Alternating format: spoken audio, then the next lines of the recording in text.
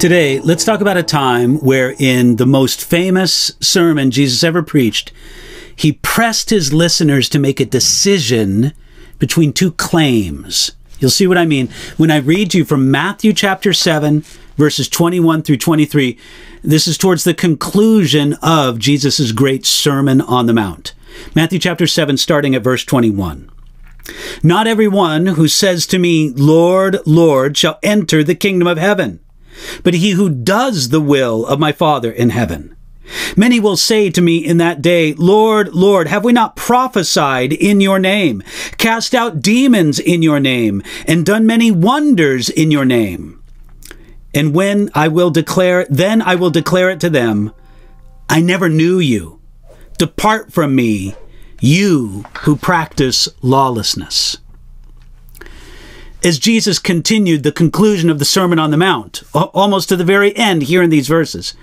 He called each of his listeners to another decision. And this is what he said Not everyone who says to me, Lord, Lord, shall enter the kingdom of heaven. Jesus spoke here of saying the right thing, where these ones call Jesus Lord. That's the right and good thing to say.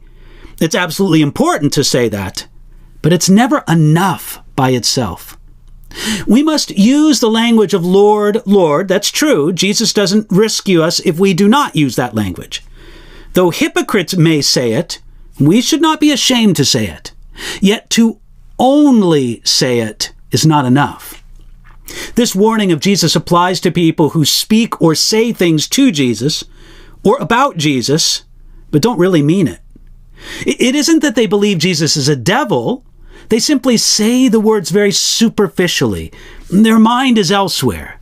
But they believe there's value in the bare words and in fulfilling some kind of religious duty with no heart, no soul, no spirit, only bare words and passing thoughts. This warning of Jesus applies to people who say, Lord, Lord, yet their spiritual life has nothing to do with their daily life. They may go to church, perhaps they fulfill some religious duties, yet they sin against God and man just as any other person might. We could say that Jesus brought it all back to himself. Notice he says, Whoever says to me, and then he says, They will say to me in that last day.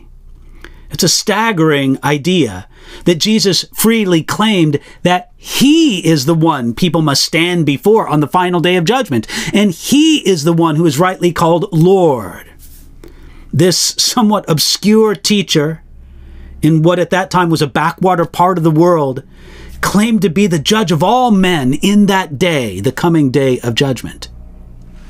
Jesus anticipated that some would protest on that day, saying, Lord, Lord, have we not? And so on. The people Jesus spoke of here had impressive spiritual accomplishments. They prophesied, they cast out demons, and they'd done many wonders. Those are wonderful things. But they meant nothing without true fellowship, without a true connection with Jesus. Significantly, they even did these things in the name of Jesus, but they never really had a relationship of trust, love, and fellowship with Jesus. Jesus did not seem to doubt their claims of doing the miraculous. He didn't say, You didn't really prophesy or cast out demons or do miracles. No.